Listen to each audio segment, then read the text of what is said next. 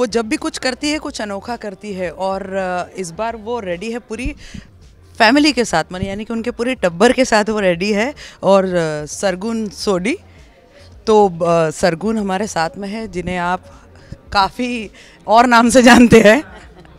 हाँ बहुत सारे नामों से जानते हो पर वैसे मेरा नाम सुप्रिया पाठक कपूर है। तो सुप्रिया जी जब भी करती है कुछ अनोखा करती है और कुछ मतलब अलग होता ही है उसमें। थैंक यू सो मच आप बहुत स्वीट हैं इसलिए आप ये कह रही हैं। मैं कोशिश करती हूँ ज़रूर और मैं आ, मुझे ये बहुत खुशी होती है कि मेरे दर्शकों को मैं अच्छी लगती हूँ। मुझे और कोई इंटरेस्ट नहीं है। मुझे सिर्फ़ एक्टिंग करने में इंटरेस्ट है। मुझे अपने दर्शकों को एंटरटेन करने में इंटरेस्ट है और मुझे उनको खुश करने में इंटरेस्ट है। तो कहेंगे हंसा से लेकर सरगुन तक। अगर ये जर्नी आपको कहे काफ़ी कम नाम ले रही हूँ मैं।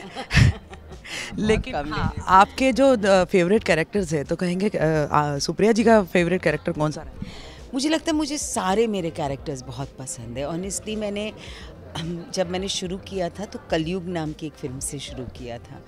और वहाँ से लेके अब तक जितने भी कैरेक्टर्स मैंने किए हैं मोस्टली मुझे सारे बहुत प्यारे लगे हैं क्योंकि वो हर एक ने मुझे कहीं ना कहीं छुआ है। और कहीं ना कहीं हर एक मेरे अब मैं जो आज हूँ उसका हिस्सा है। So it's like carrying a journey with me so मुझे तो सारी बहुत पसंद है। मज़ा मुझे हर एक कैरेक्टर करने में आया है क्योंकि मुझे जितना मज़ा एक्टिंग करने में आता है जैसे मैंने अभी काम मुझे और किसी चीज़ में आता नहीं है। सो so, हर एक कैरेक्टर को मैंने बनाया है ऐसा मुझे लगता है। हर एक कैरेक्टर के साथ मैंने इतना वक्त स्पेंड किया है। तो किसी एक को चुनना तो बिल्कुल ही नामुमकिन है। ये जो सरगुन है वो क्या करने वाली है अब यहाँ? पूरी पहले तो ये टब्बर मतलब जी जी। टब्बर का मतलब फैमिली है पंजाबी में। और ये इस जैसे हर एक माँ होती है औरत जो होती है, वो घर का एक एक फोकल पॉइंट हो जाती है।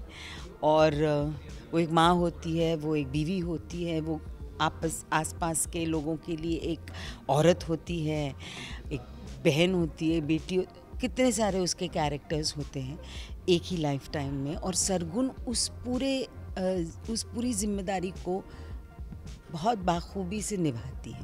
पूरे सर्वगुण। सर्वगुण है सच्ची उसमें। और वो उसके लिए सबसे इम्पोर्टेंट बात वो अपने आप को भूल सकती है लेकिन अपने फैमिली को नहीं। इस तरह की एक माँ है वो।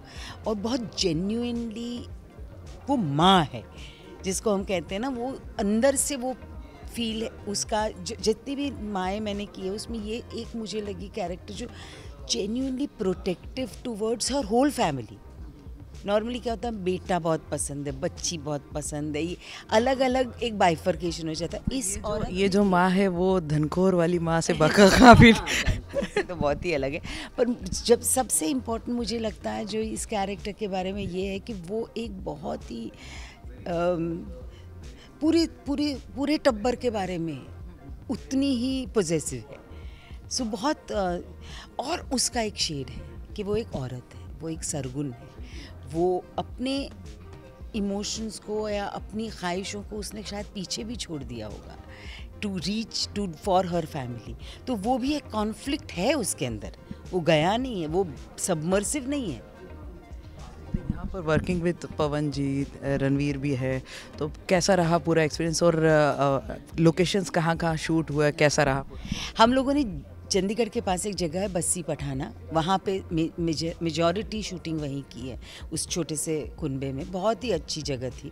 बहुत रियल और बहुत जेन्यून मैं जब वहाँ गई तो हमने, क्योंकि ये कोविड के दिनों में हॉरेबल कोविड के दिनों में हमने शूट किया तो मैं पहले तो अरे, ये साफ़ करो, ये साफ़ करो, पे ही लगी रही। फिर मैंने कहा, अभी कुछ नहीं कर सकती।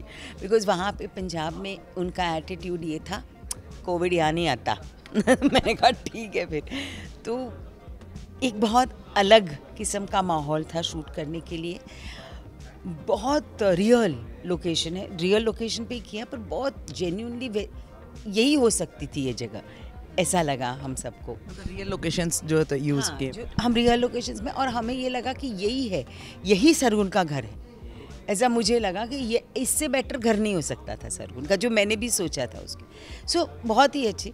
पवन को मैं बहुत सालों से जानती हूँ और उनके साथ काम नहीं इतना किया मैंने, लेकिन जानती बहुत टाइम से हूँ।